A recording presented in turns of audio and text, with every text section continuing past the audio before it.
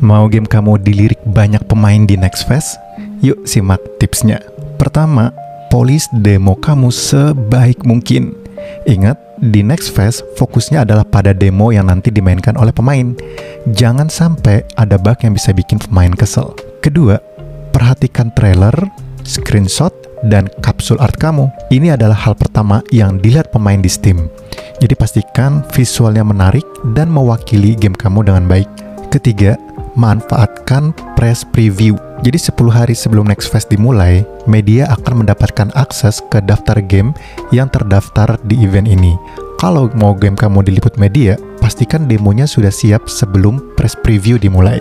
Keempat, setelah Next Fest berakhir, jangan terburu-buru turunkan demo. Biarkan beberapa minggu agar pemain yang belum sempat nyoba pas kemarin event Nextfest masih punya kesempatan main karena mereka pasti download banyak banget demo selama Nextfest itu.